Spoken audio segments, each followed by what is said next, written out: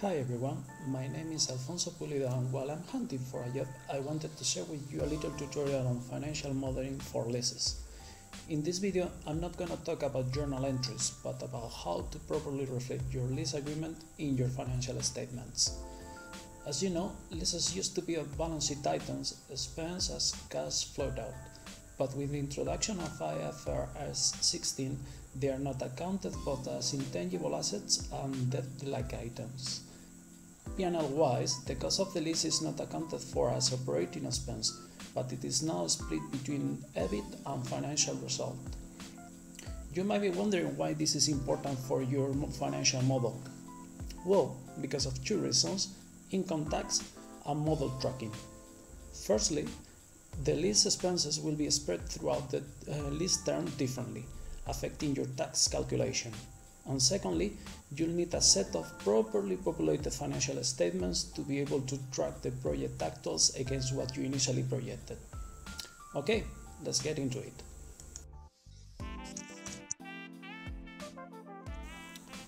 Okay, so we are gonna start with the implicit discount rate.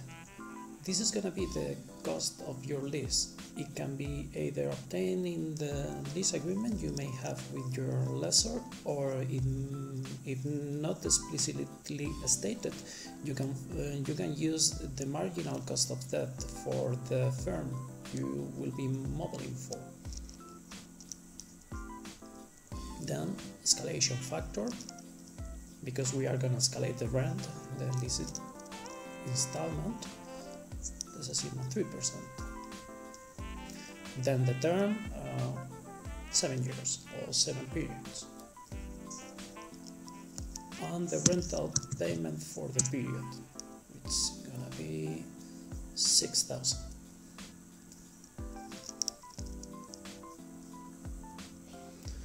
okay so a little bit of formatting here before we start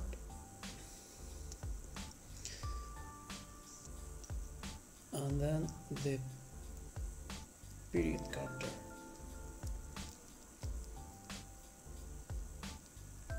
So spread across to 10 periods in case we want to change the 7 periods in the inputs then term flag. You may be noticing I've got the, Excel in Spanish but the Y should uh, should be an and formula just the conditional. Oh got an error here. Yeah because it's not comma it's semicolon. Using the Spanish version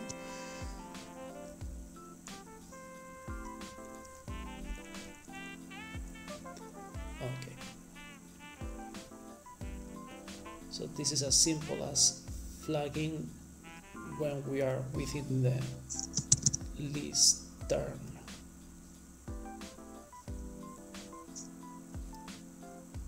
Okay, so let's continue with the escalation with the factors. First one is going to be the escalation, which is just one times the escalation rate to the power of the period. So let me anchor that.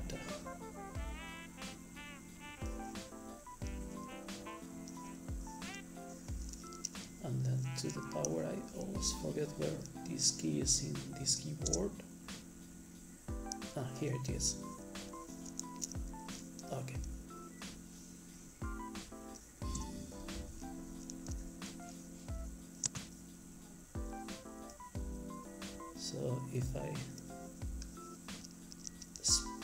across here it is the escalation factor and then we are gonna need the implicit discount factor.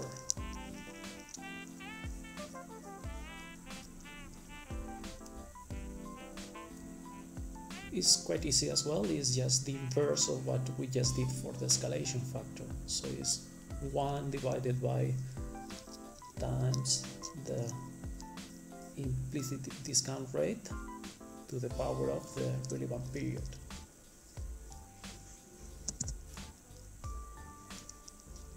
A little bit of formatting here as well to see a couple of decimal points spread across.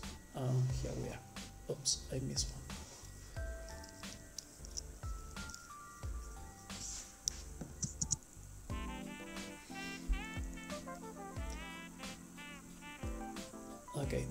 Continue to continue with well we we need the rental real rental payment which will be 6000 and then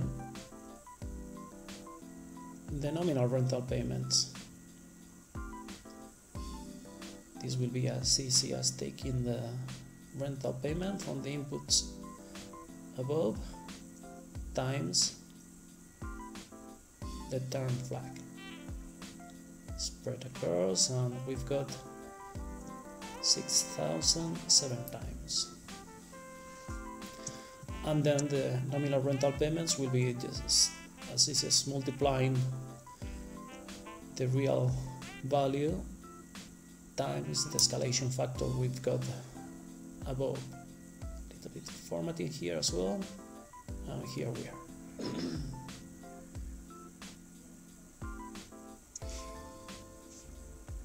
next thing we are gonna do is discounting the nominal rental payments.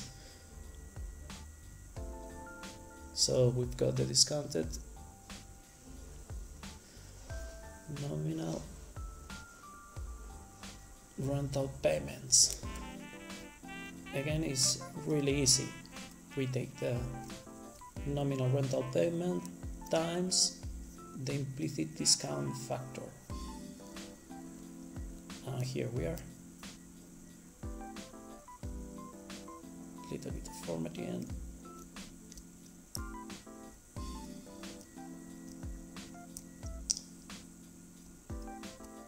the sum of all discounted nominal rental payments is what is going to be called the right of use value or the present value of the future rental payments. So this is the total value of your list of your right to use whatever you please. So let's uh, get started with the P&L. So at the end of the day, this is building up uh, both P&L, both a P&L and a balance sheet. So so you'll need to depreciate your right of use, which will be your asset. So to make things easy, just assume a straight line depreciation throughout the lease term, which is seven years. And here we are. A little bit of formatting as well. And then the oh let's place a total here Oops.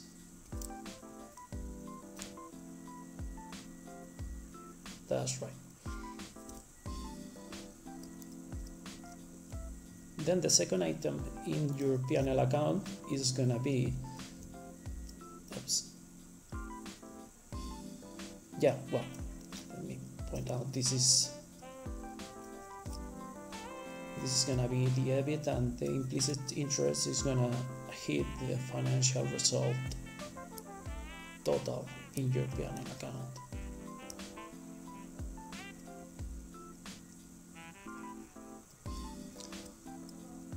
So let's leave the implicit interest uh, by now, um, but get to the profit of the, of the year.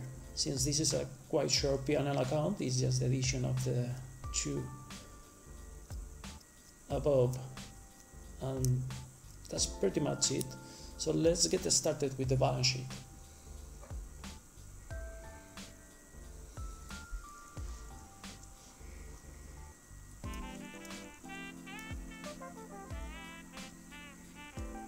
A little bit of formatting.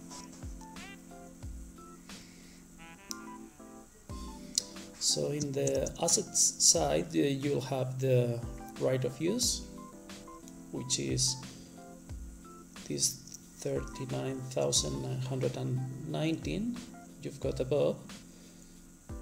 So the right of use is just this value and it will be the same value all across then you'll have the related depreciation on cumulative basis because it's a balance sheet item. So what we have to add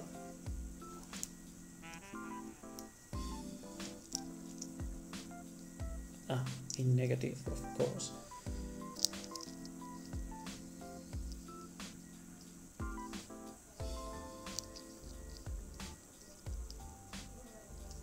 Is the depreciation so that's gonna be your non-current assets. It's a pretty simple balance sheet. So some of the above. And as current assets you're you're gonna have the cash. And it's gonna be always negative because it's uh, the single cash you are gonna have is a payment to the to the lessor.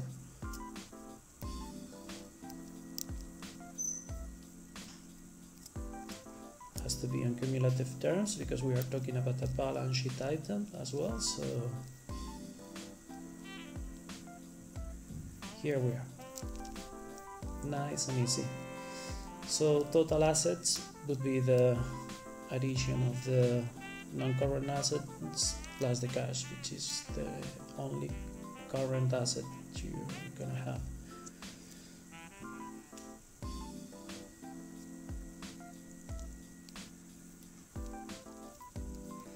Okay so in the equity and liability side you're gonna find the profit of the year which is gonna be negative because the single item you've got is a lease payment.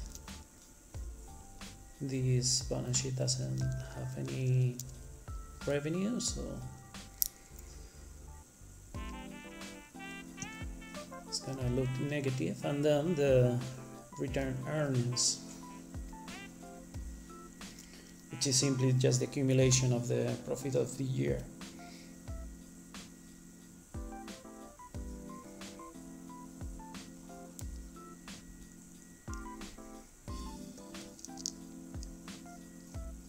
little bit of formatting here as well. Spread across and uh, here we are.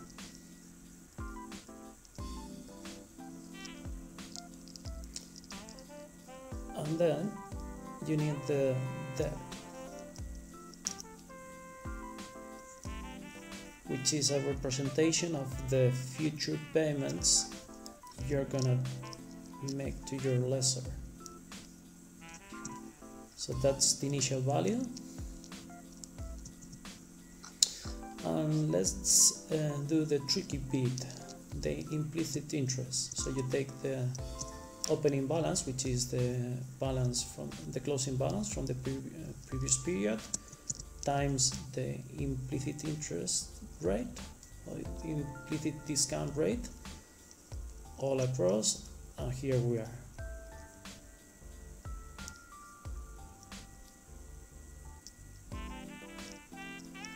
okay so how's your debt gonna change over time? You'll have to add the implicit interest and take out the nominal payments.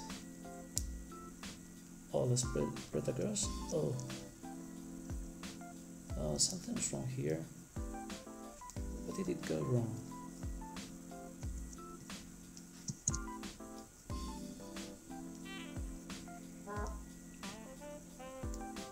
well we'll fix that later. So to finish your balance sheet you've got equity and liabilities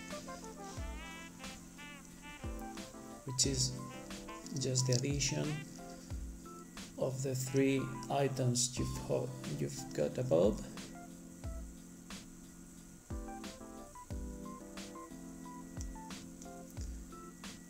Again a little bit of formatting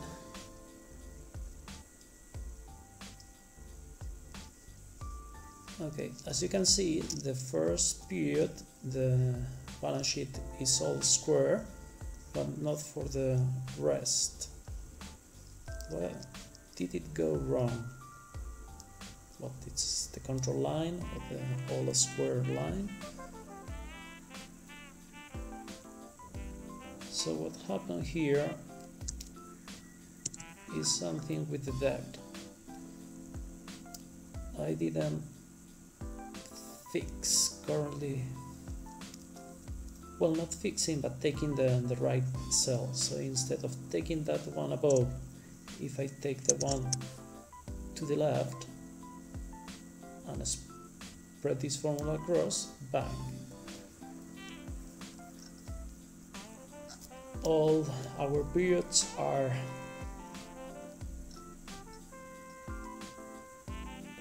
square. So um, this is basically it if you like it please uh, spread it out uh, give me a like and well happy to share the, this uh, little model.